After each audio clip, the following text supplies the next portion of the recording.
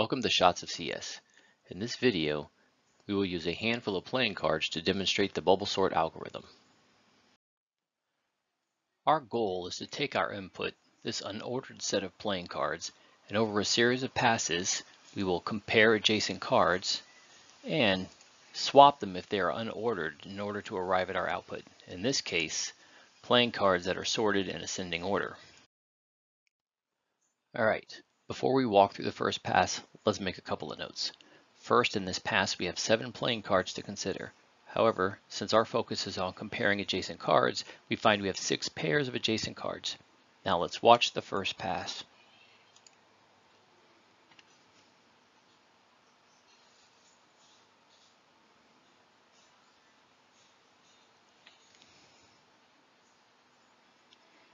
Now as you can see, by the end of the first pass, the highest card is bubbled up to its position, so we don't need to consider it in our comparisons going forward, which means for the next pass, we only have six playing cards, five adjacent pairs to consider. Bottom line, in a given pass, if the number of cards we are considering is n, and the number of adjacent pairs that we are considering is n minus 1. Now let's write some pseudocode for a given pass. For each consecutive pair in remaining unordered cards, Let's check to see if they're in order, and if they aren't, we swap them. Now that we have the process for a single pass, we need to add the control to move from one to the next.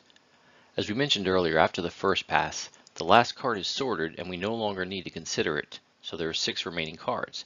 And for each subsequent pass, there is one additional sorted card, and therefore one less we need to consider. Notice we built our inner loop with a variable n, which represents the number of cards we need to look at our outer loop will need to pass in the number of cards to consider. So let's add to our loop an outer loop that will walk down from the original number of cards. Now let's see the bubble sort in action. Keep an eye on the number of comparisons done in each pass.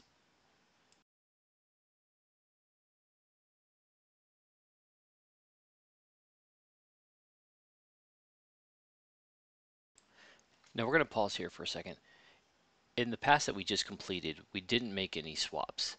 Now, we could continue with the remaining passes, but since there were no changes in the order of the cards, there wouldn't be any additional swaps to occur. So we could declare victory rather than finishing out the remainder of the passes. Since we don't want to waste time with useless passes, let's add a check into our algorithm. After each pass, if no swaps were made, we will set a condition that forces us to exit the outer loop. That's bubble sort. It isn't very efficient, but it is easy to implement.